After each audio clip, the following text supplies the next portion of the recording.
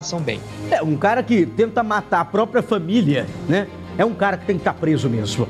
Marcelo do Acre me chama, jovem, assassinado com tiros a queima-roupa na frente da esposa e da enteada de um ano, hein, ô Marcelo?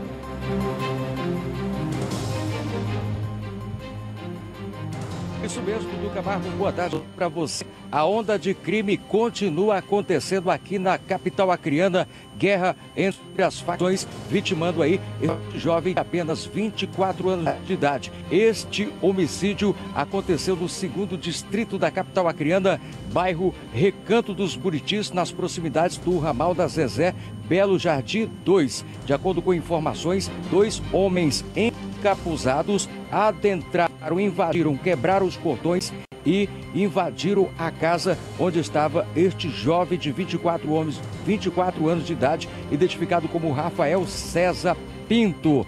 Ele foi executado com cerca de 11 tiros a queima-roupa na frente da mãe do enteado de um ano de idade e também da sua esposa. O sangue deu no meio da canela aqui na capital Rio Branco. Eu volto com você, Dudu Camargo.